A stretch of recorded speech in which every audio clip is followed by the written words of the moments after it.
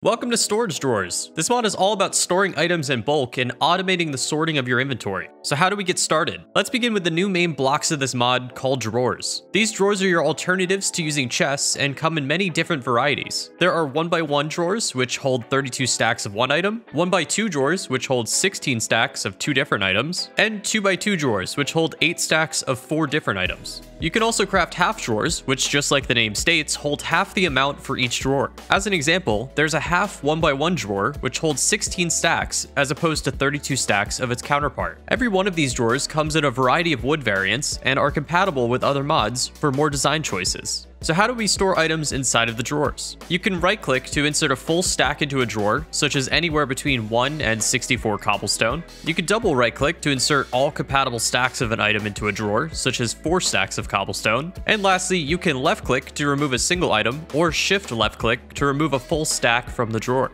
This mod also adds 3 different keys to help with automation, lag, and other things for your drawers. The first is the drawer key, which allows you to lock and unlock drawers. When locked, it maintains its current item even if the last item is removed. This will prevent pipes and other transport systems from refilling that drawer with other items. The second is the quantify key, which will show or hide stored quantity labels so you can see how many items you have. Last is the concealment key, which will show or hide item labels. This is super useful if you're starting to lag when placing multiple drawers, as you can hide some of the entities that you don't want to see. There are also several upgrades you can use to upgrade your drawers. This includes storage upgrades that will further boost the amount stored inside of a drawer. As you can see, you can craft 5 different upgrades, which can increase the storage from 2 times all the way to 32 times. You can also craft a storage downgrade that will reduce storage down to a single stack. It's also worth noting that you can craft any upgrade and apply it to any non-upgraded drawer. You don't have to craft them in a sequence. The Void upgrade destroys excess items after a container is full, which is useful if you have auto farms feeding into your system. The Conversion upgrade is useful in larger mod packs with duplicate items. So for example, if we have multiple types of copper ingots from different mods, we can use the Conversion upgrade to auto convert all copper ingots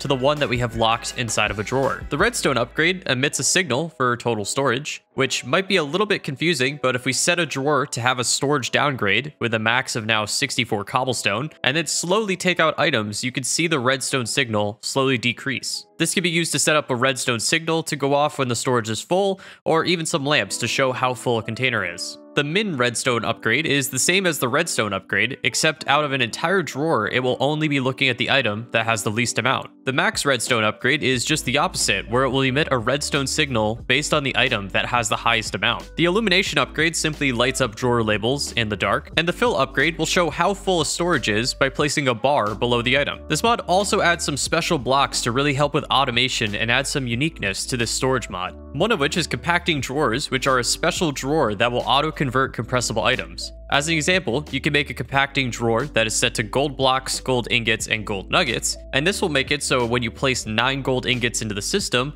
you could either pull out 1 gold block, 9 gold ingots, or 81 gold nuggets, and the drawer itself would convert it to what you need. There's also the drawer controller, which will search for any connected drawer within 12 blocks, and then expose all of those drawers as a large combined inventory. So let's say you hook up a single pipe that pumps in a variety of items, those items will be automatically placed inside of the correct drawers. You could also pull out items through that pipe and it would pull from the correct drawers as well. Drawer controllers also work as a deposit only block. This means if you right click a block with an item, it will deposit that item in the correct drawer, or if you double right click, it will sort your entire inventory that already exists in the drawers into the system. Controller slaves act as an extension of the drawer controller, allowing you to expose more faces for attaching machines, pipes, or anything from other mods. Controller slaves are also better for performance than using multiple drawer controllers. The last item is the trim. Trim blocks are decorative wood paneled blocks similar to wooden drawers, but can also be used to connect drawer blocks within a controller network. There you go, that's storage drawers. Thank you guys so much for watching, and feel free to check out the video on the screen now that is 10 mods you should add to your world, including one that adds planes.